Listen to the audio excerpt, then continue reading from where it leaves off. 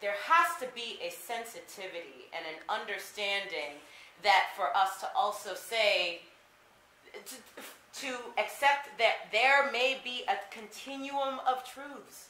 And also the fact that, because I also entered into this process thinking that uh, female circumcision, or as I, you know, called it FGM, because I remembered it from like college and seeing it on like Oprah or something like that. Um, I saw it as one thing, as type 4. I didn't know that there were more than one type. And I think that, that there is no nuance and there is no specificity. Because also, I think what is often done, not only, and you, you can take out uh, uh, female circumcision and put in any other cultural practice, specifically having to do with Africa, the continent, not the country. Um, with even because I, I think that it's it's even even when we clarify that we end up talking about Africa like it's a country. Mm-hmm. And even within one country, there are like 42 different mm-hmm. ethnic groups that may practice female circumcision, but different types and for different reasons.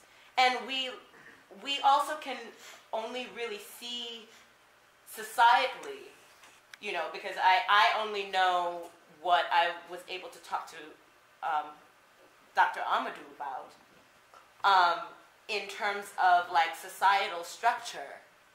We see things, especially even as, as feminist women, from women being seen as second class citizens. But it's hard to understand that perhaps in other cultures that may not be the case.